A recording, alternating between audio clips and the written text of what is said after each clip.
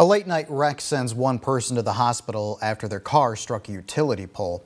According to authorities, this happened just after 11 p.m. in Fairview uh, Township in the 6000 block of West Ridge Road. The vehicle, when police arrived, was up against a broken utility pole and there were actually uh, wires down across the roadway.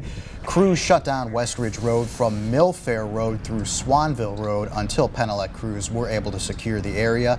Traffic was reopened just after 1 a.m. through the area.